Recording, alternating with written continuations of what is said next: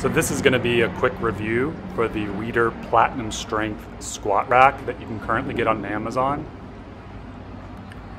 So right off the bat, I will say that this rack is not super stable, as you can tell. There's quite a bit of wobble there. And if this had a lot of weight on it, that wobble would be dangerous.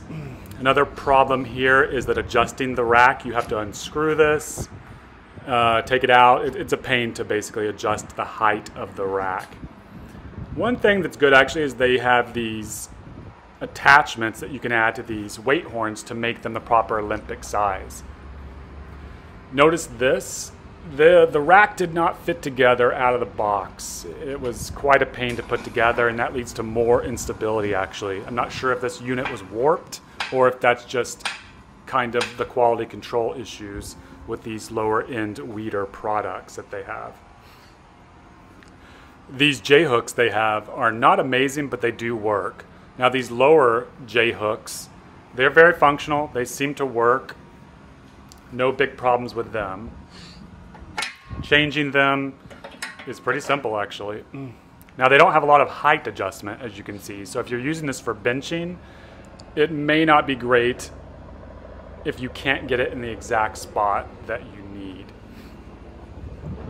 Now, let's talk about how I feel about the rack overall. I was hoping that this rack, because of its cheap price, uh, around $130 when I bought it, would be a great value.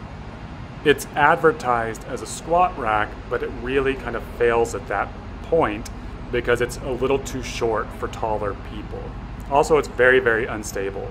So overall, I would not recommend it. I think for the price point, there's a lot better options out there actually.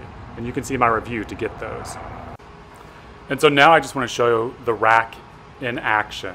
The athlete here that's using it is around 5'6", and the rack is actually at its max height. So as you can see, not only is it not stable in racking and unracking, but it's also probably not tall enough for most people.